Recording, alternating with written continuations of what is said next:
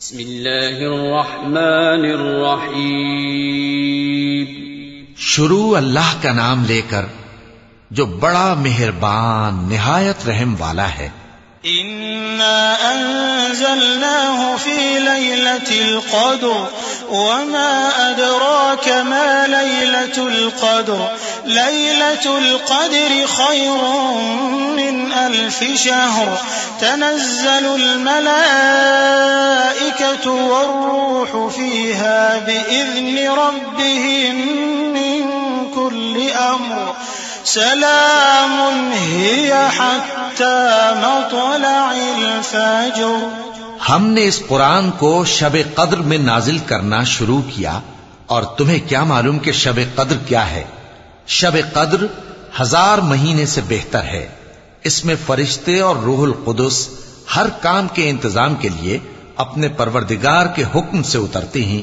یہ رات طلوع فجر تک امن و سلامتی ہے۔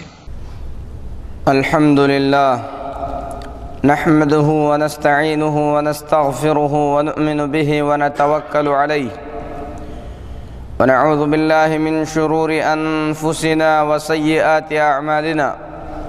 من يهده الله فلا مضل له ومن يضلل فلا هادي له. وأشهد أن لا إله إلا الله وحده لا شريك له. وأشهد أن محمدا عبده ورسوله. يا أيها الذين آمنوا اتقوا الله حق تقاته ولا تموتن إلا وأنتم مسلمون. يا أيها الناس اتقوا ربكم الذي خلقكم من نفس واحدة وخلق منها زوجها وبث منهما رجالا كثيرا ونساء. واتقوا الله الذي تساءلون به والأرحام إن الله كان عليكم رقيبا. يا أيها الذين آمنوا اتقوا الله وقولوا قولا سديدا. يصلح لكم أعمالكم ويغفر لكم ذنوبكم.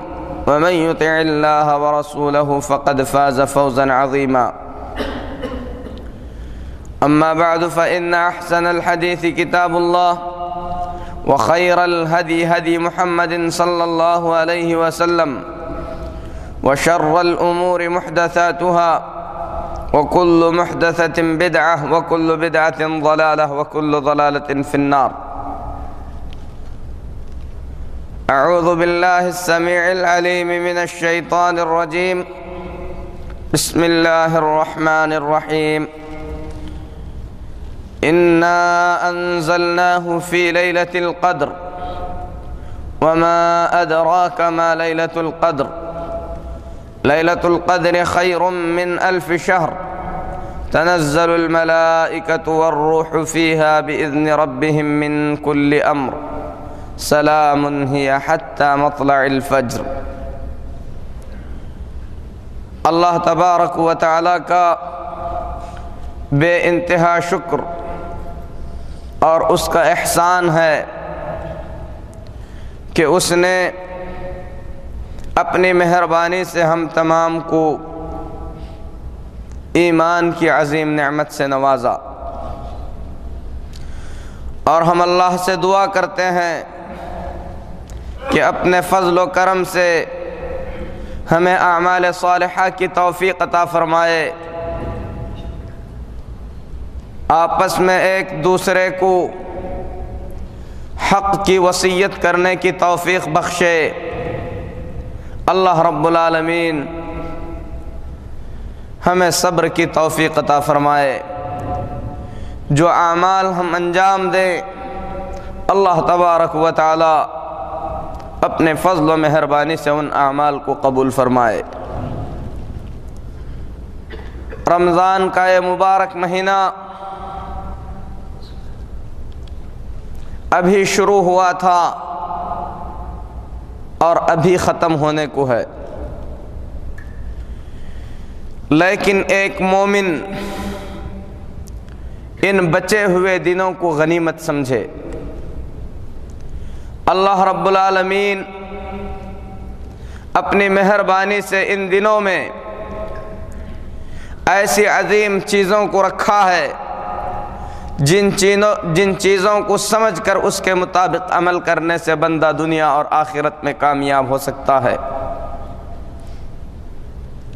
لیکن ہر عمل سے پہلے آدمی اچھی طریقے سے سوچ لے کہ رب العالمین کے دربار میں وہی عمل قابل قبول ہوتا ہے، جس عمل کو خالص اللہ کو راضی کرنے کی غرض سے کیا جائے۔ اور رسول اللہ صلی اللہ علیہ وسلم کی سنت طیبہ کے مطابق انجام دیا جائے۔ یہ عمل کے قبول ہونے کی دو کڑی شرطیں ہیں۔ جس عمل سے اخلاص ختم ہو جائے، وہ عمل مردود ہو جاتا ہے، بلکہ وہ عمل بجائے ثواب کے آدمی کی سزا کا سبب بنتا ہے۔ اسی طریقے سے جو آدمی رسول اللہ صلی اللہ علیہ وسلم کی سنت کے خلاف عمل کرے، وہ بھی سن لے کہ رسول اللہ صلی اللہ علیہ وسلم نے فرمایا، من عمل عملا لیس علیہ امرنا فہو رد جو آدمی کوئی ایسا عمل کرے، جس عمل کو ہم نے شریعت نہیں بنائی ہے، اس کا وہ عمل مردود ہو جاتا ہے۔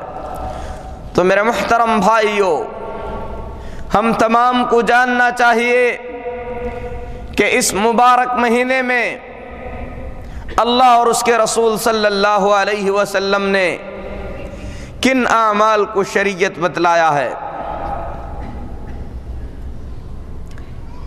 اس مبارک مہینے میں اللہ تبارک و تعالی نے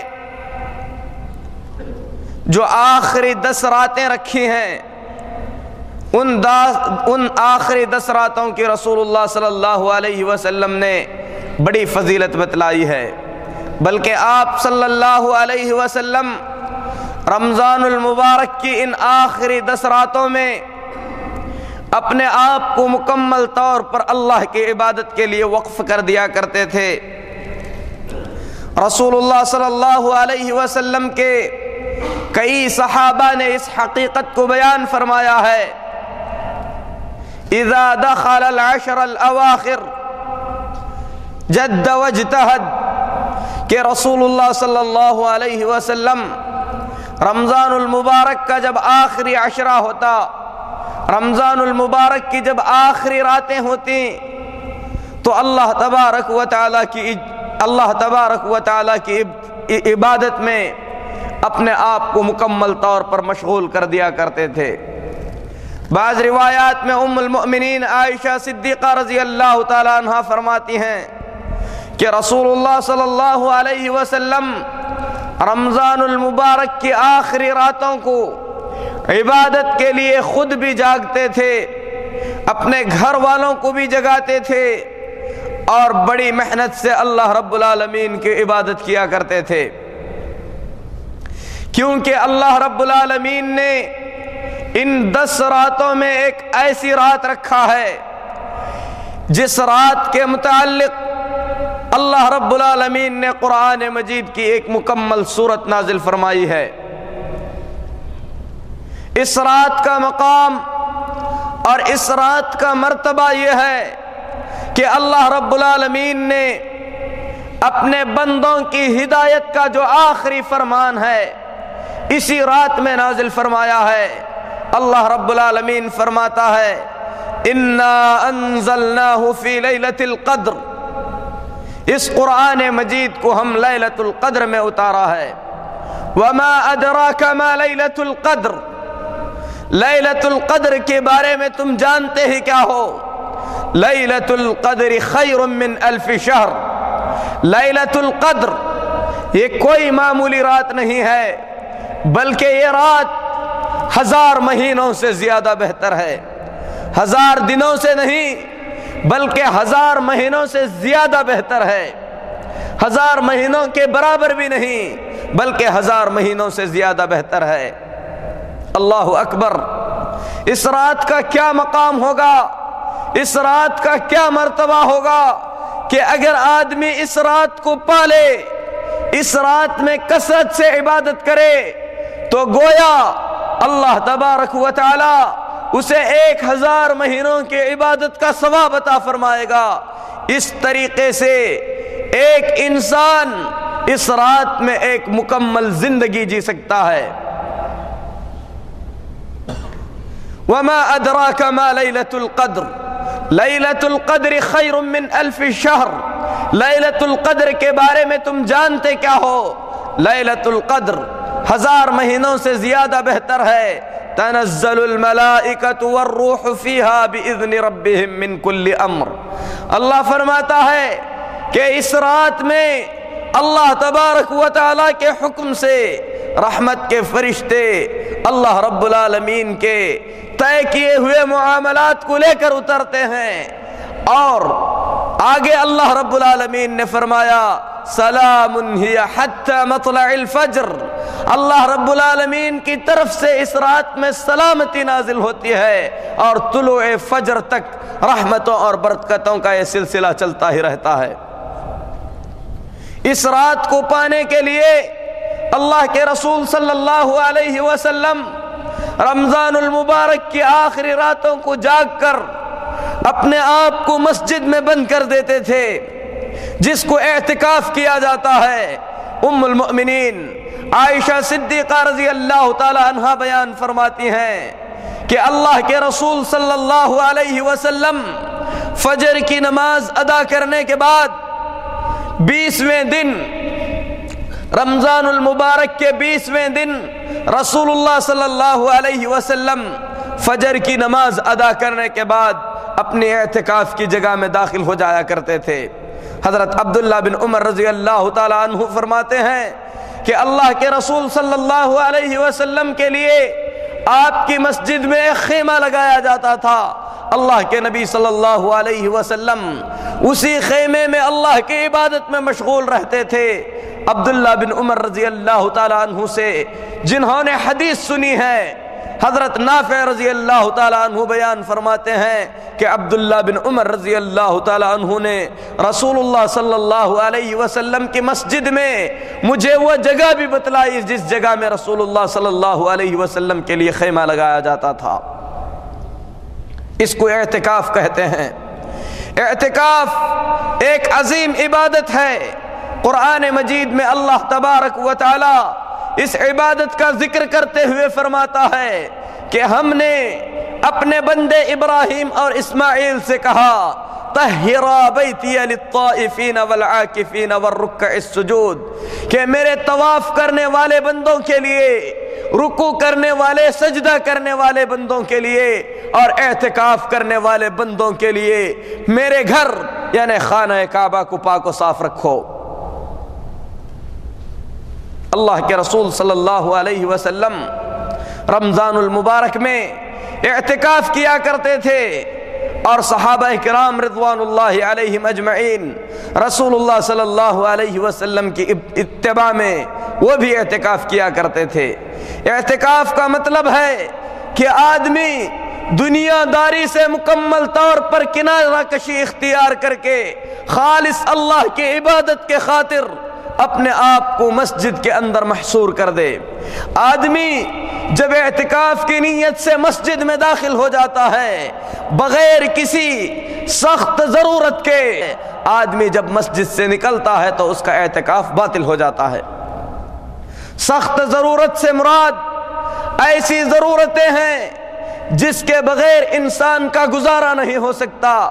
مثلا قضاء حاجت کے لیے اگر کوئی شخص اس کو کھانا نہیں پہنچا پاتا ہے، تو کھانا کھانے کے لیے، غسل کرنے کے لیے، پاکی اور طہارت کے لیے آدمی اپنے آپ کو مسجد سے نکال سکتا ہے۔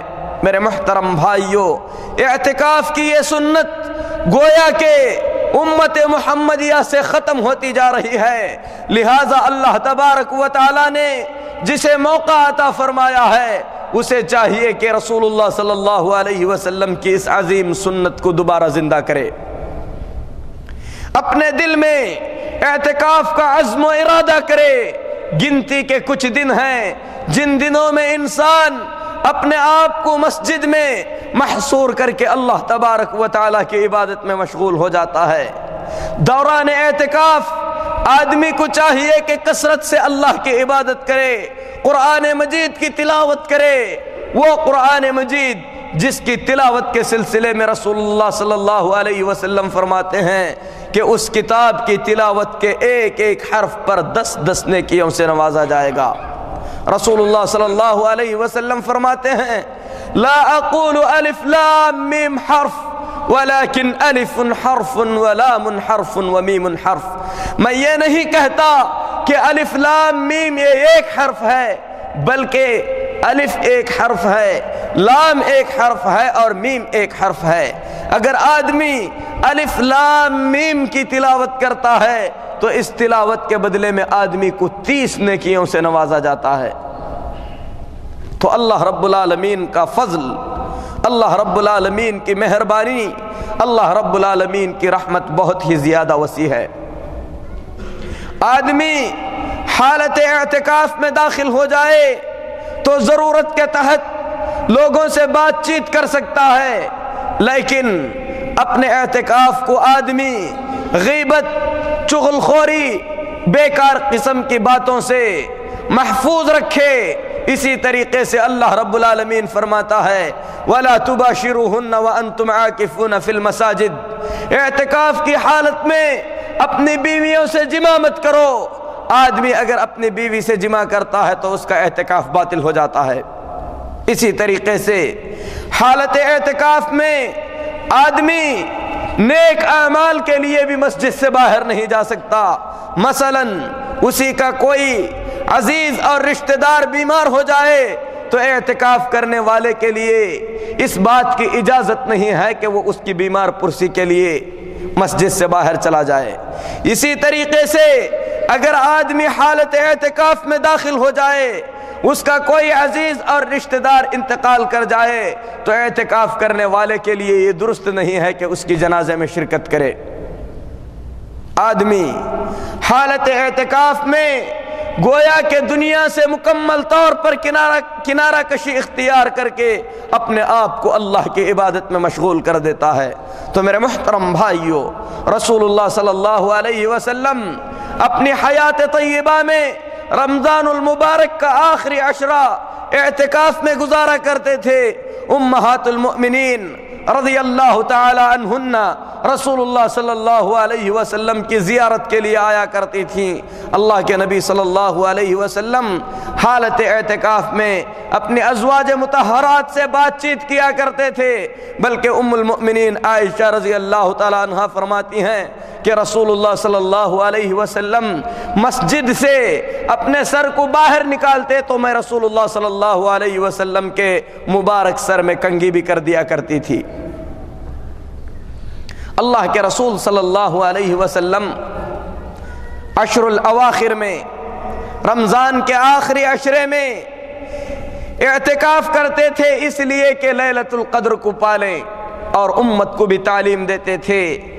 کہ اللہ تبارک و تعالی نے رمضان المبارک کی آخری دس راتوں کے اندر اس رات کو مخفی اور چھپا کر رکھا ہے۔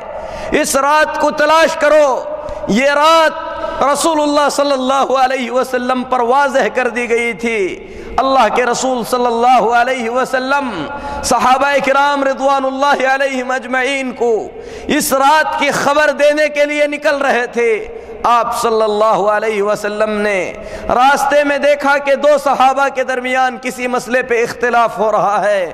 اس کے بعد اللہ کے رسول صلی اللہ علیہ وسلم ان کے اختلاف کو دور کرنے میں لگ گئے اور اللہ تبارک و تعالی نے خاص حکمت کے تحت اس رات کو رسول اللہ صلی اللہ علیہ وسلم سے بھلا دیا۔ اللہ رب العالمین اپنے نبی صلی اللہ علیہ وسلم کو کسی چیز کا علم دیتا ہے۔ پھر اس کے بعد اللہ تبارک و تعالی حکمت کے لیے اس چیز کو بھلا دیتا ہے۔ قرآن مجید میں اللہ رب العالمین فرماتا ہے، سَنُقْرِئُكَ فَلَا تَنْسَى إِلَّا مَا شَاءَ اللَّهُ اے محمد صلی اللہ علیہ وسلم، ہم آپ کو ایسی تعلیم دیں گے قرآن مجید اس انداز سے پڑھائیں گے کہ آپ بھول نہیں پائیں گے۔ ہاں ان چیزوں کو آپ بھول جائیں گے جنہیں بھلانا اللہ تبارک و تعالیٰ پسند کرے گا۔ تو اللہ تبارک و تعالیٰ شریعت کا کوئی حکم نازل فرماتا ہے اور مصلحت کے تحت اللہ تبارک و تعالیٰ شریعت کے اس حکم کو کسی دوسرے حکم سے بدل دیتا ہے۔ یا رسول اللہ صلی اللہ علیہ وسلم کے مبارک سینے سے وہ علم اٹھا لیا جاتا ہے۔ اور اللہ تبارک و تعالی گویا اس شریعت کو وقتی طور پر نازل فرماتا ہے۔ اسی طریقے سے رسول اللہ صلی اللہ علیہ وسلم کو لیلت القدر کون سی رات ہے؟ بڑی تعین کے ساتھ بتلا دیا تھا۔ پھر اس کے بعد بندوں کی آزمائش کے لیے اللہ تبارک و تعالی نے یہ رات بھلا دیا کہ بندے دس راتوں تک محنت کر کے اس رات کو تلاش کر لیں تاکہ عبادت میں محنت کر کے اللہ تبارک و تعالی سے بندے قریب ہو جائیں۔ لہذا ہمیں چاہیے کہ گنتی کی ان راتوں میں اس عظیم رات کو تلاش کریں۔ اور ام المؤمنین عائشہ رضی اللہ تعالیٰ عنہ فرماتی ہیں، میں نے رسول اللہ صلی اللہ علیہ وسلم سے کہا، اے اللہ کے رسول صلی اللہ علیہ وسلم، اگر یہ رات مجھے نصیب ہو جائے اس رات کو میں پالوں تو کون سا نیک عمل کروں؟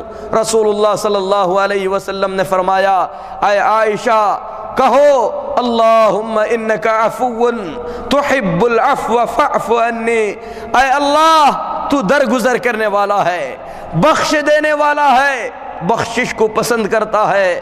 اے اللہ، تو میری بخشش فرما دے، میرے گناہوں سے درگزر فرما دے۔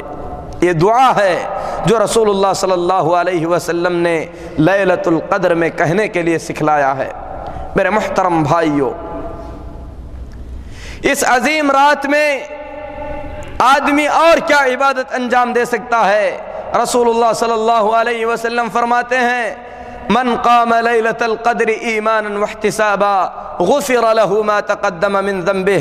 جو آدمی لیلت القدر میں ایمان اور ثواب کی نیت سے عبادت کرتا ہے، ایسے آدمی کے پچھلے گناہوں کی بخشش ہو جاتی ہے۔ آدمی اس رات میں کثرت سے تلاوت کلام پاک کرے، نمازوں کی پابندی کرے، کثرت سے نمازیں پڑھے، اسی طریقے سے اس رات میں کثرت سے دعا کرے اور اس حقیقت کو جان لے کہ اللہ تبارک و تعالیٰ کی رحمت اس رات میں نازل ہوتی ہے، لہذا اس رات کے خیر کو حاصل کرنے کی کوشش کرے۔ رسول اللہ صلی اللہ علیہ وسلم فرماتے ہیں، من حرم خیرہا فقد حرم جو آدمی رمضان المبارک کے خیرات و برکات سے محروم ہو جائے، دنیا کے اندر اس سے بڑا محروم کوئی نہیں ہے۔ لہذا میرے محترم بھائیوں اس مہینے کو الوداع کہنے سے پہلے ہم تمام پر ضروری ہوتا ہے کہ ہم اپنی زندگی کا ایک نیا صفحہ شروع کر چکے ہوں۔ اپنی زندگی کے گناہوں سے اللہ رب العالمین کی مغفرت اور معافی تلاش کر چکے ہوں۔ اور اللہ تبارک و تعالیٰ کو رو رو کر اس قدر منا چکے ہوں کہ ہمارے گناہوں کی مغفرت ہو چکی ہو۔ ورنہ یاد رکھو، جو آدمی رمضان المبارک کو پائے پھر اس کے بعد اس کی مغفرت نہ ہو تو رسول اللہ صلی اللہ علیہ وسلم کی بہت ہی زیادہ بد دعا کا مستحق ہو جائے گا۔ وہ حدیث آپ لوگ جانتے ہی ہوں گے کہ رسول اللہ صلی اللہ علیہ وسلم ممبر کے زینے پر تشریف رکھتے ہیں، زبان مبارک سے آمین نکلتا ہے ممبر کے دوسرے زینے پر قدم رکھتے ہیں۔ رسول اللہ صلی اللہ علیہ وسلم پھر سے آمین کہتے ہیں ممبر کے تیسرے زینے پر قدم رکھتے ہیں۔ پھر سے آمین کہتے ہیں۔ صحابہ نے کہا، اے اللہ کے رسول صلی اللہ علیہ وسلم، آپ کو ہم نے آج ایک ایسا عمل کرتے ہوئے دیکھا جو آپ اس سے پہلے کبھی نہیں کیا کرتے تھے۔ آپ نے ممبر پر تشریف رکھ، آپ آپ نے ممبر پر چڑھا تو آمین کہا۔ رسول اللہ صلی اللہ علیہ وسلم نے فرمایا کہ صحابیوں جبریل امین آئے تھے۔ انہوں نے کہا، اللہ ہلاک کر دے ایسے آدمی کو جس کے سامنے آپ کا نام لیا گیا اور اس نے آپ پر صلی اللہ علیہ وسلم نہیں پڑھا۔ میں نے کہا کہ آمین۔ جبریل نے کہا، ہلاک ہو جائے ایسا آدمی جس آدمی کے سامنے بڑھاپے کی حالت میں اس کے ماں باپ پہنچے اور وہ ان کی خدمت کر کے جنت میں داخل نہ ہو سکا۔ میں نے کہا، آمین۔ اے اللہ، ایسے ہی ہو۔ پھر اس کے بعد جبریل نے کہا تباہ ہو جائے ایسا آدمی جس آدمی نے اپنی زندگی میں رمضان کو پایا اور اس کے گناہوں کی مغفرت نہ ہو سکی۔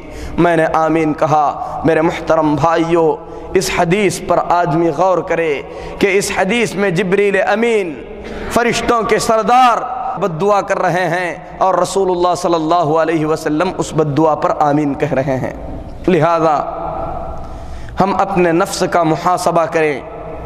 ہم اپنے نفس کا حساب لیں کہ اس رمضان میں ہم نے اپنے گناہوں کی کتنی مغفرت مانگی۔ اللہ رب العالمین کو ہم نے کس قدر راضی کرنے کی کوشش کی؟ اگر ہم نے کوشش نہیں کی تو ہو سکتا ہے کہ رسول اللہ صلی اللہ علیہ وسلم اور جبریل امین کی اس بد دعا کے مستحق نہ ہو جائیں۔ لہذا میرے محترم بھائیوں ابھی بھی وقت باقی ہے۔ آدمی کو چاہیے کہ اپنے گناہوں کو یاد کرے۔ اللہ تبارک و تعالیٰ سے گناہوں کی معافی مانگے۔ اور بقیہ جو ایام ہیں، ان دنوں کے اندر کثرت سے اللہ رب العالمین کی عبادت کرنے کی کوشش کرے۔ اسی طریقے سے رمضان المبارک کے آخری دنوں کے مسائل میں سے ایک عظیم مسئلہ صدقۃ الفطر کا ہے۔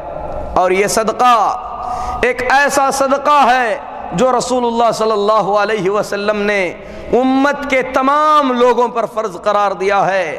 فقیر ہو، مسکین ہو، عاجز ہو، غلام ہو، مرد ہو یا عورت ہو، بچہ ہو یا بوڑھا ہو۔ رسول اللہ صلی اللہ علیہ وسلم نے فرمایا کہ صدقۃ الفطر تمام لوگوں پر واجب ہے۔ صدقۃ الفطر، اگر آدمی جان بوجھ کر نہ نکالے تو گنہگار ہوگا۔ صدقۃ الفطر، یہ ہر سال امت کے تمام لوگوں پر فرض قرار دیا گیا ہے، سوائے اس آدمی کے جس آدمی کے پاس اس دن کی غذا کے علاوہ کوئی اور چیز موجود نہیں ہے۔ اگر کوئی آدمی اس حالت تک، فقیری کی حالت تک پہنچ چکا ہے کہ اس کے پاس اس دن کے کھانے کے علاوہ کوئی چیز میسر نہیں ہے تو ایسی صورت میں صدقۃ الفطر اس سے ساقط ہو جاتا ہے۔ صدقۃ الفطر اس پر واجب نہیں ہوتا۔ اس کے علاوہ جس آدمی کے پاس اس دن کا کھانا میسر ہے، اس کے بعد اس کے پاس کچھ بھی ہے، تو اس اناج سے صدقۃ الفطر کا ادا کرنا انسان پر لازم اور ضروری ہو جاتا ہے۔ صدقۃ الفطر اس کی مقدار اس وقت کے پیمانے کے اعتبار سے ڈھائی سے پونے تین کلو کے درمیان اناج کی شکل میں نکالا جانا چاہیے۔ صدقت الفطر کو پیسے کی شکل میں دینا یہ رسول اللہ صلی اللہ علیہ وسلم کی سنت کے خلاف ہے۔ رسول اللہ صلی اللہ علیہ وسلم کی سنت کے خلاف ہے۔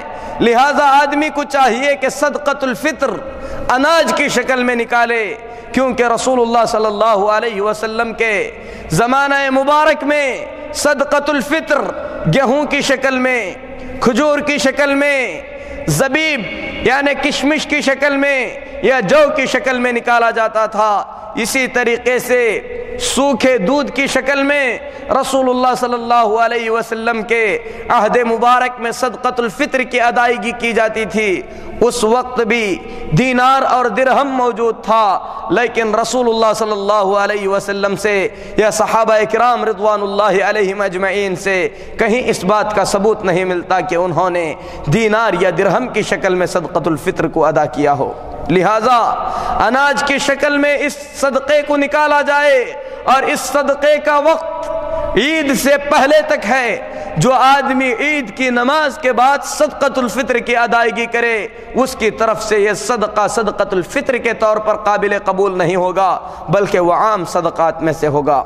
اسی طریقے سے اس کا بہترین وقت یہ ہے کہ آدمی عید سے کچھ وقت پہلے نکالے، عید سے ایک یا دو دن پہلے بھی اس صدقے کو نکالا جا سکتا ہے۔ لیکن عید سے بہت پہلے اس صدقے کو نکالنا جس حکمت کے تحت اس صدقے کو مشروع کیا گیا ہے، اس حکمت کے خلاف ہے۔ رسول اللہ صلی اللہ علیہ وسلم اس صدقے کے متعلق فرماتے ہیں طہرت للصائم و تعمت للمساکین۔ یہ صدقہ روزدار کی روزے کی حالت میں جو لغو یا بیکار کی باتیں سرزد ہو جاتی ہیں، اس سے کفارہ بنے گا۔ اسی طریقے سے یہ صدقہ عید کے دن فقیروں اور مسکینوں کو لوگوں کے سامنے ہاتھ پھیلانے سے روکے گا۔ یعنی انہیں یہ صدقہ دے دیا جائے گا تو وہ مستغنی ہو جائیں گے۔ عید کے دن وہ محتاج نہیں رہیں گے کہ کسی کے سامنے اپنے ہاتھوں کو پھیلا سکیں۔ لہذا انسان کو چاہیے کہ اس صدقے کو نکالے۔ اسی طریقے سے میرے محترم بھائیوں عید کے اہم مسائل میں سے ایک مسئلہ یہ ہے کہ آدمی عید کے دن اپنے اہل خانہ، ماں باپ، رشتہ داروں کو جس انداز سے خوش کر سکتا ہے، خوش کرنے کی کوشش کرے، ان کے دلوں کے اندر خوشیاں بھر دے۔ اسی طریقے سے خود بھی اچھے سے اچھا پہنے، اچھے سے اچھا کھائے اور اسی لیے اللہ تبارک و تعالی نے عید کے دن روزہ رکھنے کو حرام قرار دیا ہے اور رسول اللہ صلی اللہ علیہ وسلم نے فرمایا کہ عید کا دن کھانے پینے اور خوشی منانے کا دن ہے۔ لیکن خوشیاں شریعت اسلامیہ کے اندر حد میں رہ کر بنانے کا حکم دیا گیا ہے۔ اللہ کے رسول صلی اللہ علیہ وسلم نے ہر چیز کی حدیں مقرر فرمائی ہیں آدمی خوشیوں میں مبتلا ہو کر اللہ رب العالمین کی نافرمانی کا ارتکاب نہ کرے۔ گانا، بجانا، بے حیائی، بے پردگی ان تمام قسم کے منکرات سے دور رہ کر اگر آدمی اللہ رب العالمین کی دی ہوئی نعمتوں کا اچھے انداز میں اظہار کرتا ہے تو شریعت اسلامیہ اس سے منع نہیں کرتی ہے۔ بلکہ اللہ تبارک و تعالی نے روزوں کے اختتام پر امت محمدیہ کو ترغیب دیتے ہوئے فرمایا وَلِتُكَبِّرُ اللَّهَ عَلَى مَا هَدَاكُمْ وَلَعَلَّكُمْ تَحْتَدُونَ تاکہ تم روزوں کے ختم ہونے پر اللہ تبارک و تعالیٰ کی کبریائی بیان کرو. اللہ اکبر اللہ اکبر اللہ اکبر، لا الہ الا اللہ اللہ اکبر۔ اس قسم کے کلمات کا کثرت سے تذکرہ کرتے رہو. اللہ تبارک و تعالیٰ نے تمہیں ہدایت عطا فرمایا کہ تم نے روزوں کو رکھا، اللہ کی عبادتوں کو انجام دیا، اس کے شکرانے کے طور پر اس کو خوشی کا دن منا لو، تو میرے محترم بھائیوں عید خوشی کا دن ہے۔ اس مبارک بندے کے لیے جس نے رمضان المبارک کو اللہ تبارک و تعالیٰ کی عبادت میں صرف کیا ہے، ورنہ اس آدمی کو خوشی منانے کا کیا حق پہنچتا ہے؟ جس نے رمضان المبارک کو اپنے نفسانی خواہشات کا شکار کر دیا۔ ہم رب سے دعا کرتے ہیں کہ اے اللہ، ان گزرے ہوئے دنوں میں ہم سے جو لغزشیں ہوئی ہیں، ان لغزشوں سے درگزر فرما۔ اے اللہ، ہم نے اس مبارک مہینے کا وہ احترام نہیں کیا، جس احترام کا وہ لائق تھا۔ اے اللہ، ہماری اس تقصیر سے ہم تیری معافی مانگتے ہیں۔ اے اللہ، جو باقی ایام ہیں، ان ایام میں تجھے راضی کرنے کی تو ہمیں توفیق عطا فرما۔ اے اللہ، تو ہم سے راضی ہو جا۔ کثرت سے عبادت کی ہمیں توفیق عطا فرما۔ اے اللہ، ہم گنہگار بندے ہیں۔ بہت سارے گناہ ہم سے سرزد ہوئے ہیں۔ تیری رحمت، تیری درگزری، تیری غفاریت کا وسیلہ دے کر ہم تجھ سے دعا کرتے ہیں کہ اے اللہ، ہمارے چھوٹے بڑے تمام گناہوں کو معاف فرما۔ اقول قولی هذا واستغفر الله لي ولكم ولسائر المسلمين فاستغفروه انه هو الغفور الرحيم